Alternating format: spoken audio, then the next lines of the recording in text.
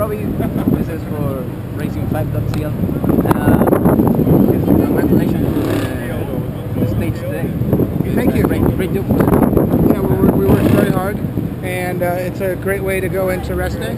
And uh, the guys are obviously working very hard on the equipment, and hopefully we can continue with the, uh, the same similar results because we got fast race cars, and we need to put ourselves in a position to hold them out. Tell me about your relationship with Nasser. Uh, it's, it's good. Um, he's doing a good job, and um, unfortunately, he's stuck in the mud on day two or day Yeah. three, uh, or else he'd be sitting there right with me. So, um, you know, it's, it's been good. Uh, he's, he's, he's racing a different race than I am because he has to make up time, Uh-huh. and I just have to be conservative every single day. I'm Robby Gordon, and you're at Rest Day at Dakar.